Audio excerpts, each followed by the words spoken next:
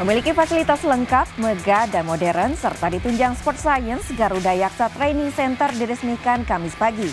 Ketua Umum PSSI Erick Thohir yang hadir dalam peresmian ini menyambut antusias fasilitas ini dan berharap timnas U17 bisa memaksimalkan segala fasilitas yang ada di tempat ini.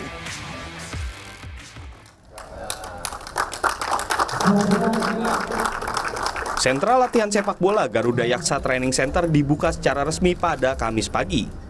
Di lahan seluas 60 hektar ini terdapat tujuh lapangan serta fasilitas kebugaran modern yang berbasis sport science.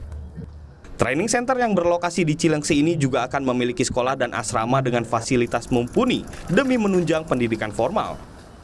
Pembina Akademi Sepak Bola Garuda Yaksa Prabowo Subianto berharap fasilitas ini dapat melahirkan bibit pemain potensial yang mampu membawa harum nama negara.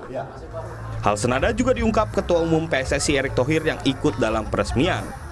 Erik berharap timnas U17 yang rencananya akan berlatih di lokasi ini mampu memanfaatkan kesempatan ini dengan baik. Terutama uh, pilihan ya.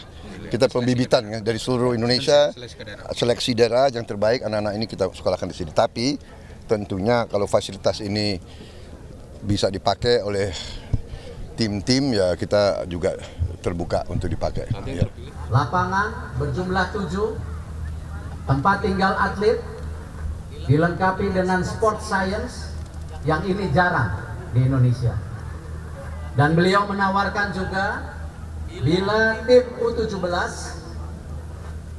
siap untuk berlatih diberi kesempatan di sini. Bertepatan dengan peresmian juga digelar turnamen Nusantara Open U17 yang diikuti tim Elite Pro Academy Liga 1. Dari turnamen ini, talenta terbaik akan diterbangkan untuk menimba ilmu di Aspire Academy Qatar. Tim Liputan Kompas TV